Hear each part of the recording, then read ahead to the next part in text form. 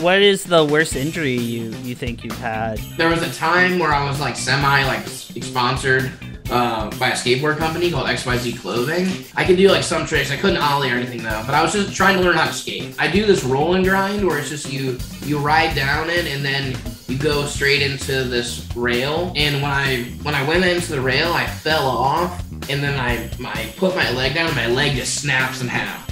It reminded me of like Mortal Kombat when they show the fatalities and like bones break and stuff. Oh, like, I saw like inside my body and I felt my leg break. I fucking looked down and I moved my leg and my leg's just dangling. Oh. Dude, it was so messed up. Everyone stopped what they're doing at the skate park. Yeah.